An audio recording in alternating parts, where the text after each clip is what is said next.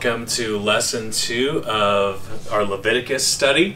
Uh, we're kind of setting some context here before we approach uh, the tabernacle, and uh, I'm glad you're part of this. I, have heard a lot of people encourage that uh, we're going to finally find out what this has to do with, with God, with the people of God, with us. So uh, jump in for a little Bible study this morning, and, and we'll, we'll get going.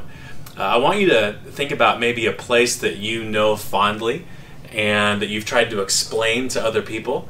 Uh, for me, if uh, I drove with my family up from uh, south of San Francisco up to the city, uh, I might, right before we get into the city, uh, a little ways before, kind of point out to the right. See that kind of empty space over there right next to the water? That's where Candlestick Park used to be. See, it was a baseball stadium and football stadium for many years. And if I just kind of said that, my family might think, great, thanks, Dad, more sports trivia that's really meaningless to us. But if I actually told them some of the history and what happened there, they might be a little bit more intrigued. You see, if I told them back in 1989 the World Series was going to be played there, and right before the game, all of a sudden the whole ground shook, the stadium shook, uh, the whole Bay Area shook. I even felt it an hour and a half away from there. And in the stadium that was right over there, there were people standing there. I actually had a friend that was standing toward the top, and he had to hold on to a rail as the whole stadium was shaking. It was not just a place where a baseball game was going to happen, it actually became a place where world history was happening. And if I kind of gave them that background, that historical background, they might look a little longer and think, that'd be cool to see. Or it might be interesting to go in there if that stadium was still around. That's kind of how I feel coming to the book of Leviticus. It's a book, as I've said before, we often read Genesis and then we get toward the end of Exodus about kind of how this tabernacle is going to be constructed and we kind of start to tune out. Then we get to Leviticus and we really start to tune out, thinking, what in the world is this about? And we kind of think, all right, God, Leviticus. But if we know the history behind it, and even all that happened before Leviticus and what was really going on in the book, then I think that there's more eagerness to jump into it. So that's what I'm hoping that these first couple of videos do. Kind of whet our appetite a little bit and kind of try to get us excited about going into the tabernacle, as it were, together in the book of Leviticus. So I want to do that by taking you through uh, a little bit of the book of Exodus. So last week, just to review, uh, we started talking about Genesis. I told you that Leviticus was the third book in the five books of the Torah. Really, you can think of one big book, the Torah, but Leviticus is the third part of that. And so we looked at Genesis and how in Genesis 3, man and woman were expelled from the presence of God. So they started off having communion with God in Genesis 1 and 2, and even in Genesis 3, but then they sinned. The presence of God came back for them, and they hid from the presence of God because of their sin. There was a barrier there. They were then expelled from the Garden of Eden, expelled from the presence of God, if you will. And again, I'm just sweeping over Genesis. But then we get to Genesis 12, where God picks a man, Abram, and he says, From you, I'm going to create a great nation. What God was doing there in Genesis 12 was saying, I'm going to choose a particular people out of all the people in the earth. I'm going to start them with you, and I'm going to be their God. They're going to be my people. I'm going to have a special relationship with this particular group of people. So, God also told Abram that it wouldn't be, just be that he'd have many children and God would have this great nation. He'd also bring them into a particular location a particular land. We know that to be the promised land where current Jerusalem is, current Israel. And so God promised that to Abram, and we see uh, the, the growth of the people of God throughout the book of Genesis. God's going to move this nation, his people, to this land where he will dwell with them. Abraham knew it, Isaac knew it, Jacob knew it, Joseph knew it, all the patriarchs knew it, and the people coming after him knew God had a special relationship with this people, and He meant for them to be in the promised land. Well, Genesis ends with the people of God not in the promised land, but in Egypt. Now, God brought them to Egypt and actually allowed them to thrive there and grow up to a point where a new Pharaoh came in and started enslaving the people of Egypt. So now all of a sudden, this, this nation of God's people who were special to him, they had grown, they had thrived, they had material wealth to some degree, they had families, they had kind of grown in their population. Now they need to be redeemed because they're enslaved. And remember, they're not in the land yet that God wanted them to be in. So we come to the book of Exodus. And again, Exodus, the book right before Leviticus, and we learn some things. The people of God are enslaved by Pharaoh. We read that in the opening verses, opening chapter of Exodus. God, Yahweh, the covenant keeping God, is going to redeem his people, Israel, so that they can worship him. It's interesting when God tells Moses and Aaron to go to Pharaoh and to say, Let my people go, he says, so that they can go out into the wilderness and worship me. So God's going to redeem a people, free a people, so they would be freed up to worship him. This is what's happening in the opening chapters of Exodus. I'm skipping through plagues and all sorts of things. We're just kind of flying over Exodus in a sense and dropping down at a couple points. Yahweh also is not just going to redeem them from Egypt, he's also going to make himself known to them. And he tells Moses this. He tells the people of God this. It's not just I'm going to free you from slavery. Oh, that was good. We no longer have to make bricks anymore. There's more to it than that. Yahweh is going to make himself known to this people. Certainly they knew of him in a sense, but they didn't really know him intimately and personally. But God is telling Moses that he's going to make himself known to the people. Now, again, think about how significant that is in light of Adam and Eve being expelled from the garden, being kicked out, sent away from the presence of God. Now, God is telling his people, I'm going to make myself known to you. This, again, is grace. Grace is all over the pages of Scripture. In Exodus 6, 6 through 8, listen to what it says. Say therefore to the people of Israel, I am the Lord, and I will bring you out from under the burdens of the Egyptians, and I will deliver you from slavery to them, and I will redeem you with an outstretched arm and with great acts of judgment. I will take you to be my people, and I will be your God. And you shall know that I am the Lord your God, who has brought you out from Egypt. So Yahweh is telling the people here, telling them through Moses, he's not just going to redeem them, but they're going to know him. And as we go through the Torah and as we go through these passages, you're going to see a lot in a lot of places, especially in Leviticus, it gives commands and it says, I am the Lord. I am the Lord. I am the Lord. And for us, we need to understand what that meant to the covenant people of God back then, the nation of Israel capital L, capital O, capital R, capital D. That way of spelling Lord in the English Standard Version and other versions, that is speaking to the covenant keeping God.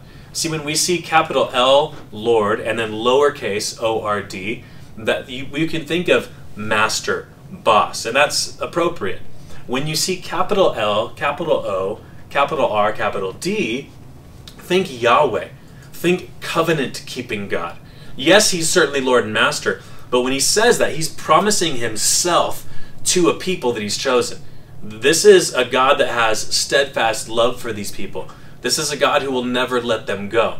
So it's when you see the word Lord spelled that way, you can translate it Yahweh. It's the covenant keeping name of God. So he's saying, I'm going to bring you out from the bondage to Egypt.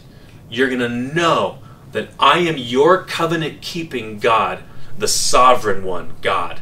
So that's what he's saying to them. So Israel's going to be brought out. They're going to know this God. He's going to be with them. Yahweh saves the oldest child in Israel by the blood of the lamb that they put over the doorpost in the 10th plague. We see him with that final plague redeeming the people of Israel. He brings them out. And what does he do? He brings them through the waters of the Red Sea. He swallows up the enemies behind them. And again, even there, I mean, there's so much more to talk through. In a sense, that's bringing the people through a purifying act through the waters to a place where they are now His. So, again, more to say about that, but we're going to keep flying over. Yahweh brings the nation through the waters, defeats her enemies, and then brings them into the wilderness. All right. So you're you're an Israeli at this time. You're one of the Israelites at this time. You're maybe 25 years old. You're working. You're kind of caring for your family. You're doing what Israelites do in Egypt. God sends Moses, this one who's going to free you, lead you out so that you can be Yahweh's people again in, in some sort of free sense, free fashion, no enslavement anymore. You see these 10 plagues, uh, they're fearful, it's scary. God protects you. You hear about the firstborn of Egypt dying. You are told to keep the Passover and to be ready so that you can get out of Egypt. You go out of Egypt. You see the Red Sea open. You literally walk on dry ground through the Red Sea, knowing later on that the enemies of God have been swallowed up by that same water that was just next to you in a wall. And then now you're supposed to be worshiping God and enjoying His presence. Well, now you're in the wilderness. And you don't have any water. That's where the people of God are in Exodus chapter 17. And if you have your Bibles, I want you to go there. We're going to read a couple of different passages in this study. But look at Exodus 17. All the congregation of the people of Israel moved on from the wilderness of sin by stages, according to the commandment of the Lord, and camped at Rephidim. But there was no water for the people to drink. Therefore, now again, think of all that you've been through. Therefore, the people quarreled with Moses and said, Give us water to drink. And Moses said to them, Why do you quarrel with me? Why do you test the Lord? So here's a problem here. They're frustrated. This was supposed to be better than this. They quarrel against the leader, and Moses says that their issue is with God. Why are you testing the Lord? Why are you putting God to the test? Why are you questioning Him? Verse 3 But the people thirsted there for water. And the people grumbled against Moses and said, Why did you bring us up out of Egypt to kill us and our children and our livestock with thirst? So Moses cried to the Lord, What shall I do with this people? They are almost ready to stone me. so you see the people of God frustrated, angry, grumbling. Evidently, they think when you're a follower of Yahweh, everything should always work out perfectly. What does God say? Verse 5. And the Lord said to Moses, Pass on before the people, taking with you some of the elders of Israel, and take in your hand the staff with which you struck the Nile, and go. Behold, I will stand before you there on the rock at Horeb, and you shall strike the rock, and water shall come out of it, and the people will drink. And Moses did so, in the sight of the elders of Israel. And he called the name of the place Massah and Meribah, because of the quarreling of the people of Israel and because they tested the Lord by saying, now this is so key in our understanding of Leviticus. Listen to what the people say. Is the Lord among us or not? You see what the people are doing here? They're questioning Yahweh, their covenant keeping God, who freed them from enslavement, brought them to be his people, and as soon as they get their first trial, they wonder, is God even here? Is God, is the covenant keeping, promising, faithful God even here. Well, what's Leviticus all about? The presence of God graciously dwelling with his people. So you could say, who are these people to question the faithfulness of God? Yet, they're doing it. And can't we do this sometimes? We get into a trial and we wonder, does God even care? Is he even present? Does he even see all the wrongs and suffering that I'm going through? It's important for us not to test the Lord, not to question the Lord, but to remember He is faithful to His people, whether it's in the dry seasons or the seasons of flourishing. But this God is questioned here. Is He even among us? That's what they're asking. Yahweh's questioned, Exodus 17, 1 through 7. And then, again, moving forward, we come to Exodus 19, and the people of God are brought to Mount Sinai. And most of what happens from here on out is at Mount Sinai, from Exodus 19 through the end, Exodus chapter 40. The people of God are at Mount Sinai. God gives them what we know to be the Ten Commandments or the Decalogue. And what he's doing there is saying, You're my people. You're different than Egypt. You're different than the Hittites. You're different than the Amorites. You're my people. And these are the laws that I have for you. And when you see the Ten Commandments, the law of God, you see the character of God. This God is holy. And this is what holy people do. So God is, even in giving these commandments, He's revealing who He is to these people and who He wants them to be. Again, you'll see this. You'll see Him say, Be holy because I am holy. So God intends when He dwells with His people, they will resemble Him, they will mirror Him, they will look like Him, they will be one with Him. That's the intent. So God's making a people holy for Himself, setting them apart for Himself. That happened in Exodus 20 when He gave them the Ten Commandments. Then Yahweh commands them to build a tent. So it's not just here the Ten Commandments, but now build a tent. Or in some places it's called the tent of meeting or the tabernacle. Later on in Israel's history, it will become a temple, a, a more fixed structure. But here he calls them to build the tabernacle. And so much of the rest of Exodus is taking up is taken up talking about the tabernacle. Now what's the purpose of the tabernacle? Again, think of the presence of God here. Exodus 29 verses 44 through 46. I will consecrate the tent of meeting and the altar. Aaron also and his sons. So God's saying, I will I will make holy, I will set apart uh, compared to the other land around it, I will set apart this tent, this tabernacle, and Aaron and his sons, who are the priests, they will be special to me. They will be holy unto me. I will consecrate the, the tent of meeting and the altar. Aaron and also Aaron also and his sons I will consecrate to serve me as priests. I, this is key, will dwell among the people of Israel and will be their God. And they shall know, there's that word again, they'll know me. They'll know that I am the Lord, Yahweh, the covenant keeping one. They will know that I am the Lord their God, who brought them out of the land of Egypt, that I might dwell among them. I am the Lord their God. Repeat it again. So let me ask this question Do you think God wants his people to know, listen, I'm coming to have a relationship with you? You will know me intimately. You will know that I keep covenants. I make promises. I keep them. I'm your sovereign one. Of course, he wants them to know that. But over and over again, it's special to them, and then they sin and start questioning God. Or it's special to them, and he brings them to a trial, and they question God.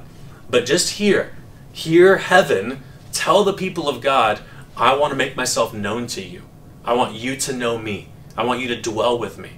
This is what we need to understand before we come to the book of Leviticus. So God is making him, himself known. He's showing his people that he's the covenant keeping God, he's their God. And then, what do we see in the rest of the book?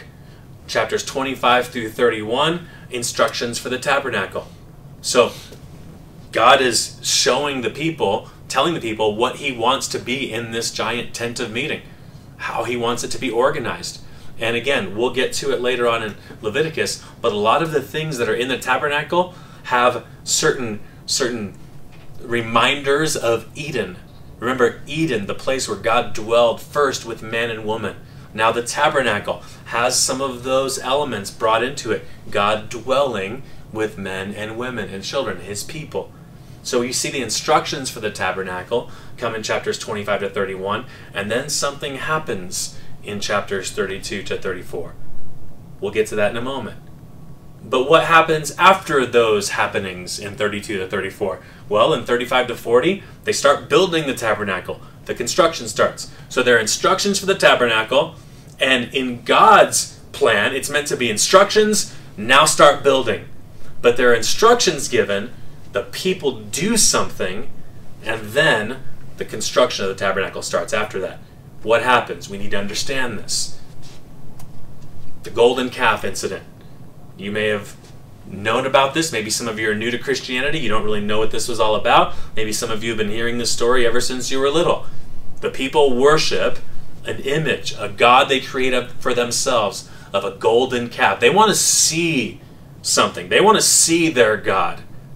Now, you have to understand why that's so horrible in in the context of all that we've understood. God was bringing his people out of Egypt so that they would know him. Evidently, they want to know him the way they want to know him, not the way he's going to make himself known to them. So we get the golden calf incident in chapters 32 through 34. Yahweh was making himself known to the nation. We've covered that. Yahweh was about to dwell with them in the tabernacle in the promised land. So think of where they are. They're at Mount Sinai. He's just given them instructions for a tabernacle. He's already told them that he's going to dwell with them in this tabernacle. You'd think that would be enough for them to say, all right, if it takes some time, we'll wait. You're going to be with us in a special way. No, they're impatient. So Yahweh's promising to dwell with them in the tabernacle, in the promised land that they get to, and while Moses goes up to Mount Sinai to receive instruction from the Lord, they can't wait. They want to know God. They want to see God. They, they want to they want to see him on their terms, not on his. They don't wait, and so they create an image of a God that they could see. They get all the jewels and things they had had in Egypt, they melt them together, they get Aaron to do this, and he sets up a golden calf and they begin worshiping this calf, looking just like the rest of the nations, even looking like Egypt that God just saved them from. John Owen actually has a great quote about what they're doing here. Listen to what John Owen says. He says, God had planned to, to give them a glorious representation of who He is. So God had planned, I'm going to make myself known to you in this tabernacle, in this land. Uh, you're going to see things. I'm going to make myself known. They can't wait. Listen to what Owen says. But as Moses went into the mountain, the Israelites would not wait for his return, but made a calf in his stead. So mankind, refusing to wait for the actual exhibition of that glorious image of himself, which God had provided, broke in upon his wisdom and sovereignty to make some of their own. So the people of God, just been saved by God, redeemed by God from, from, from Egypt in the Exodus, they can't wait for God's revelation to them. They break in to his wisdom and his sovereignty, kind of creating their own. They create their own wisdom, their own rule. This is how we're going to worship. This is the God we're going to serve. Think of the audacity and the arrogance and the sin there. That's what happened.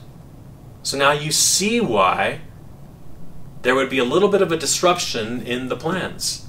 How's Yahweh going to respond to this? Well, guys, you really shouldn't have done that. Don't worry about it. No, he takes it seriously. They reject God and his revelation and make a God their own image. I love what Michael Morales says, and it's really graphic language, but he says, basically gives the idea that they played the whore, they committed adultery the night before their wedding day. It's really what they did.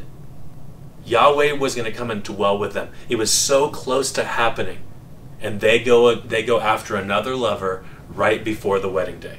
That's what's happening in the golden calf incident. What happens after the golden calf incident? Moses rebukes the people. Moses rebukes the people in chapter 32, verse 30. Moses intercedes for the people. Let's actually turn there. Chapter 32, verse 30. The next day Moses said to the people, You have sinned a great sin, and now I go up to Yahweh. Perhaps I can make atonement for your sin. So Moses tells the people that. He then goes up, back up to Mount Sinai. Only he was allowed to go up to the top to speak with God. Moses intercedes for the people in verses 31 to 32. So Moses returned to the Lord and said, Alas, this people has sinned a great sin. They have made for themselves gods of gold. But now, think of Moses speaking on behalf of the people. He just rebuked them, but now he's going to intercede for them. But now, if you will forgive their sin, but if not, please blot me out of your book that you have written. So God's God's asking Yah or Moses is asking Yahweh to forgive the people, but if he won't, then take me out of your book so that they can go in.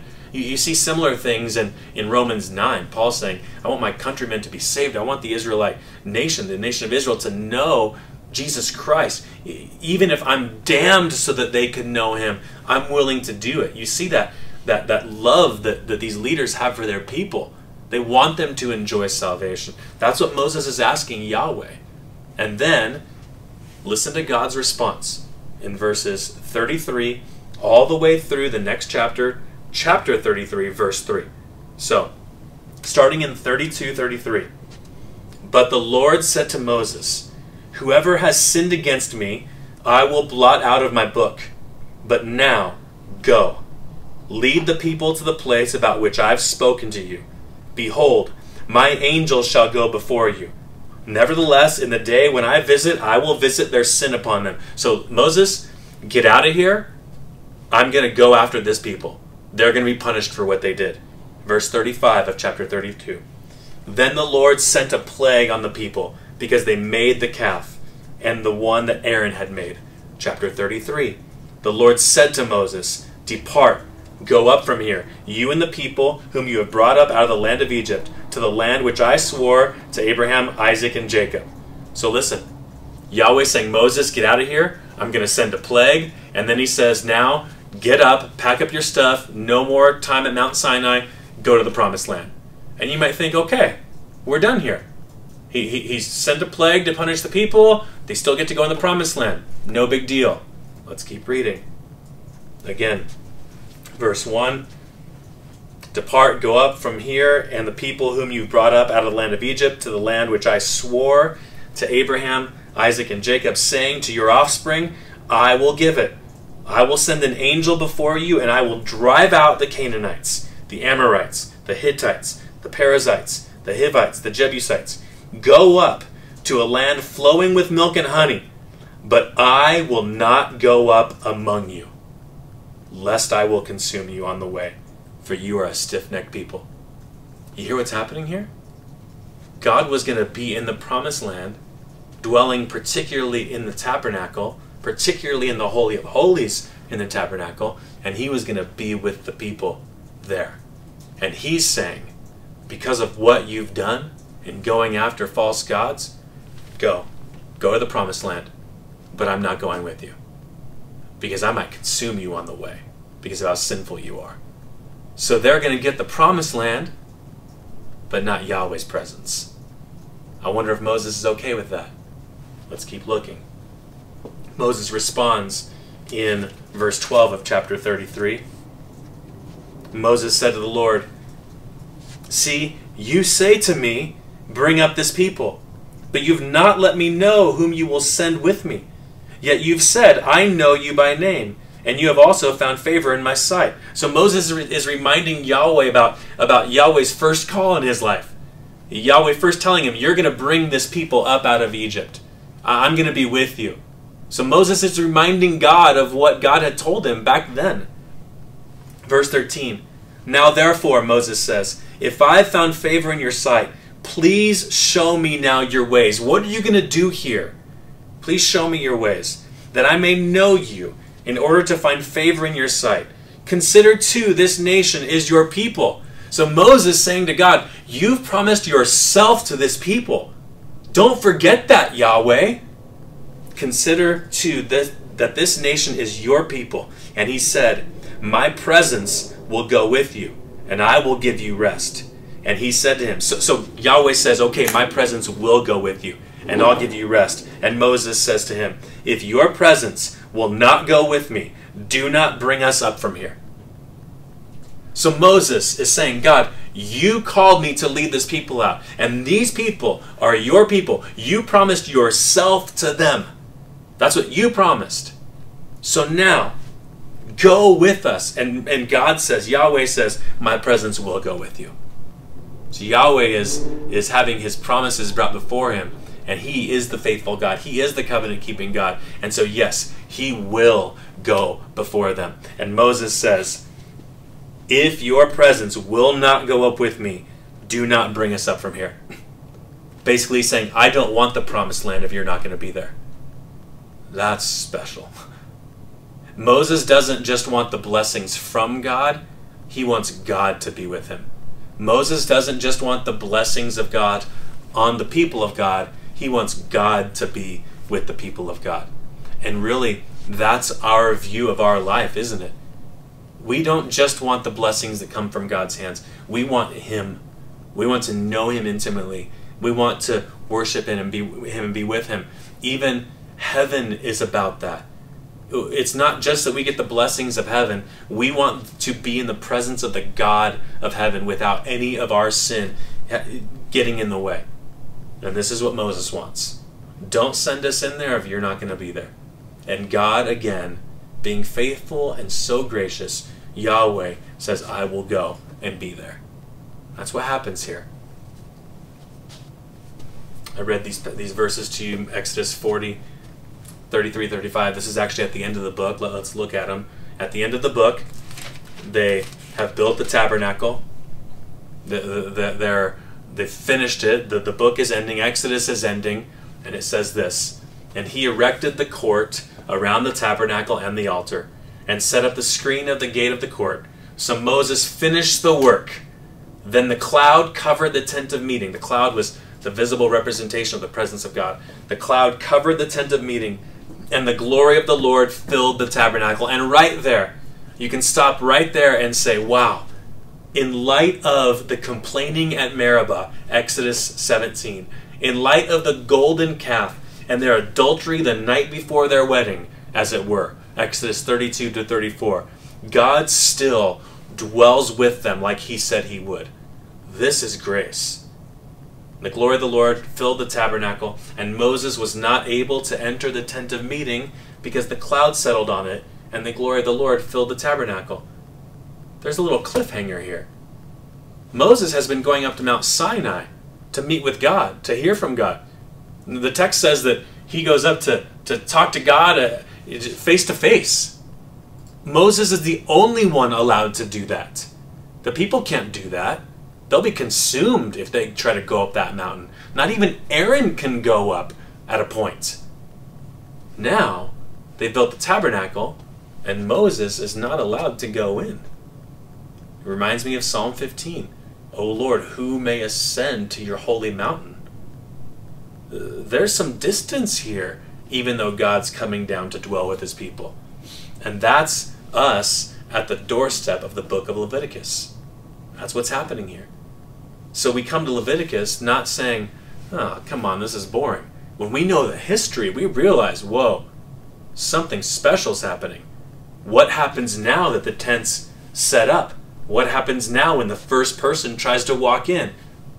What do we know? What do we learn? What does the Bible tell us? And that's where we're at. A couple keys to understanding this book.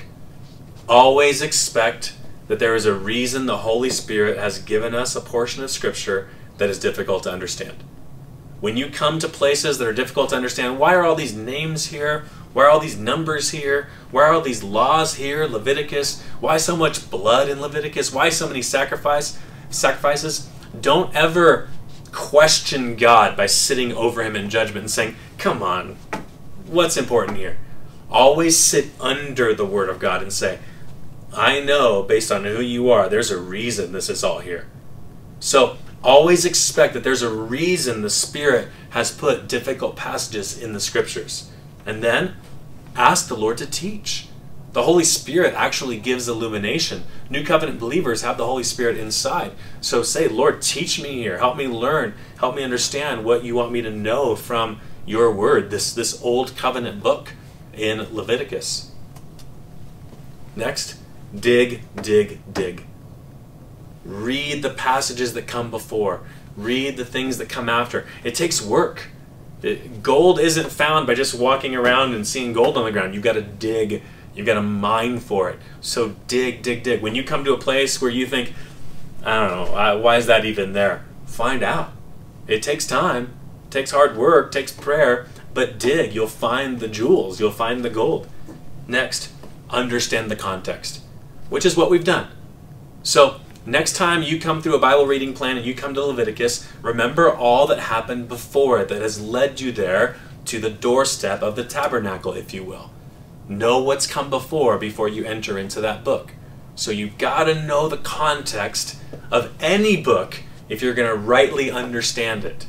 I don't care if you're studying Leviticus or Colossians or Revelation or John or Jeremiah. You've got to know the context. So, we've been doing that. Some takeaways today before we end our time. Being in the presence of God is a privilege. Can you see that? God has promised his presence to his people graciously. We might have thought Adam and Eve ruined it forever, but God graciously has still promised himself to his people. And even then, he's rescued his people. Think about the parallels to our salvation. He rescued Israel from enslavement in Egypt. He's rescued us from the slavery of sin. He, he's no longer, uh, Satan is no longer our father. Now God is our father. He's rescued us. He's redeemed us. He's freed us. We no longer have to sin. We've got a new principle inside of us, a new heart. And He will dwell with us. He's, he's uniting Himself to us. Being in the presence of God is a privilege. Next, long for the presence of God without any interruption. Now, it's still not perfect yet. We still have sin that clouds our relationship with our Lord. It doesn't take us away from the Lord. He's secured us. We know that's true. But it clouds the relationship we have. We don't like the way we feel when we sin. But go, if you will, to Revelation 21. You could say, in a way, the whole Bible is about the presence of God with his people started that way in the Garden of Eden, the earliest chapters of Scripture, Genesis 1 through 3. Then Revelation 20 at the very end. What is what is happening at the end? Heaven comes down to earth. Revelation 21. Then I saw a new heaven and a new earth, because the first heaven and the first earth have passed away, and the sea was no more. And I saw the holy city, New Jerusalem, coming down out of heaven from God prepared as a bride adorned for her husband. And I heard a loud voice from the throne saying, Behold, the dwelling place of God is with man. He will dwell with them, and they will be his people, and God himself will be with them as their God. He will wipe away every tear from their eyes, and death shall be no more. Neither shall be mourning, there be mourning, nor crying, nor pain, for the former things have passed away this is what we're going to. The presence of God is so important in the scriptures. The scriptures are teaching us how wonderful the presence of God is with his people. They had it perfectly in the garden, they will have it perfectly in the future, and right now, people in general don't have that fellowship with God until he saves them. And then they do have the presence of God, but they still have remaining sin, and it's not like we want it to be. So, long for the presence of God without any interruption, without any sin. Next, in the meantime, where do we go to find God's presence now? Where is God's presence now? We know that our Lord Jesus Himself ascended to heaven, and so we're waiting for heaven. We want to be united back to Him. We want to see Him face to face, literally see Him face to face and be with Him, and to see Him as He is and then to be changed by that, to know Him. Again, hear these echoes of God telling the people, You're going to know me. We want to know Him more intimately. We certainly know Him now. He's made us to know Him as born again believers. But we want even more intimacy, that final intimacy with Him. But where is the presence of God now in the meantime? Now, here's an error. You can take the Old Testament and say, okay, the Old Testament always automatically has a mirror in the New Testament. So in the Old Testament, we had a tabernacle. In the New Testament, we have church buildings. So the presence of God was in the tabernacle or the temple. The New Testament church, the presence of God must be in the building. So we better get this church building built fast so the presence of God can dwell with us. That's a wrong way to view the presence of God. Look what 1 Corinthians 3 says. Do you know that you are God's temple and that God's Spirit dwells in you. think about how rich that statement is. Do you know that you are God's tabernacle? You are God's temple, and that God's Spirit dwells in you. If anyone destroys God's temple, God will destroy him.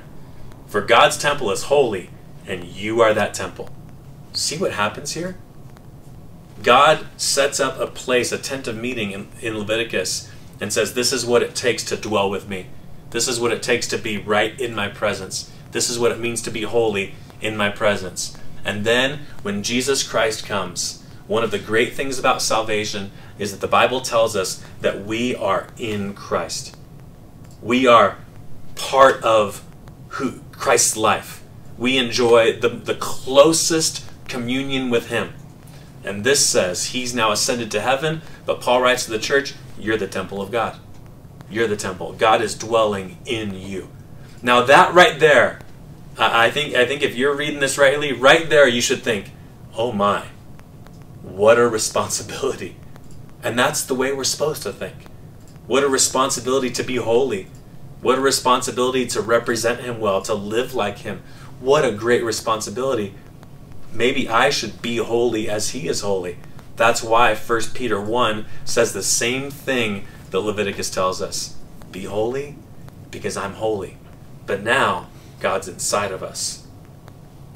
By the way, it also has something to do, this also, this also relates to how we treat one another as Christians.